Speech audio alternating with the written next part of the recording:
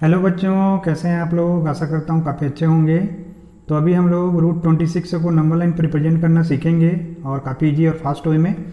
तो बच्चों, इस टाइप के क्वेश्चन में क्या करते हैं? सबसे पहले हम लोग एक right angle triangle rough draw कर लेते हैं यहाँ पे। मान लीजिए ए बी सी है ये। अब यहाँ पे हम लोग को मालूम है जो डायगोनल होता है ए सी वो जो है बेस का स्क्वायर और परपेंडिकुलर के स्क्वायर के सम की इक्वल होता है। तो A B square plus B C square हो गया। अब देखिए, यहाँ पे ए बी का वैल्यू क्या रखें? तो हम लोग अंडर रूट ट्वेंटी सिक्स से मिलेगा फाइव रखते हैं तो फाइव फाइव या ट्वेंटी फाइव हो जाएगा। प्लस बी सी का वैल्यू वन रखते हैं तो वन के स्क्वायर वन हो जाएगा।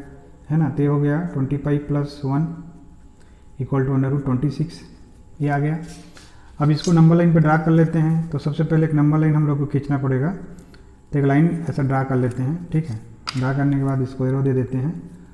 अब देखिए, यहाँ पे क्या है? ये मान लीजिए ज़ीरो है है ना? उसके बाद हम लोग क्या करेंगे? ये जो कंपास है, उसको एक फिक्स्ड लेंथ में सेट कर देंगे। कोई भी लेंथ हो सकता है। उसके बाद एस का कटेंगे इसमें। One two three four five और ये सिक्स ठीक है?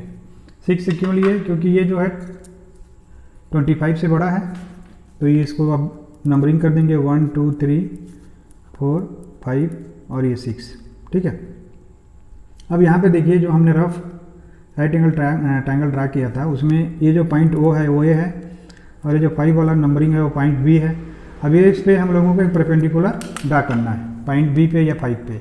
तो क्या करेंगे? सिक्स से पॉइंट पे ऐसा कंपास को सेट करके इसके मिड से ज़्यादा, आधा से ज़्यादा एक इधर आर का काट देंगे, और ठीक वैसा ही आर का हम लोग इधर काट देंगे, ऐसा। अब काटने के बाद इसको हम लोग यहाँ पे दोनों लाइन को मिला के इस पॉइंट से एक ऊपर लाइन ड्रा कर लेंगे ऐसा, ठीक है? और यहाँ पे फिर इसी कंपास को एक यूनिट लेंथ पे सेट करके यहाँ से कार का काटेंगे। ये, ठीक है? ये जो आर्क हमने काटा है, वो इस पॉइंट को टच कर रहा है यहाँ पे, इसको मिला लेंगे तो ये जो मिलाया हुआ लाइन है ना, ये पॉइंट सी पे मिल रहा है। अब देखिए, यहाँ पे ओ को सी से ज़ीरो को सी से मिलाएँगे या ई को सी से मिला लेंगे। तो ये हम लोग को डायगोनल मिल जाएगा इसी। और जो वैल्यू ए सी है, यही क्या है? अंडर रूट ट्वेंटी सिक्स है। अब देखिए, यहाँ पे ज़ीरो से सी को मिलाने के बाद क्या करना है अपने को? यहाँ से एक आर का काटना है। ये फाइव और सिक्स वाले के बीच में है ना? और यही वाला पॉइंट जो है ना, बच्चों, यही वाला पॉइंट जो है आपका, ये क्या है?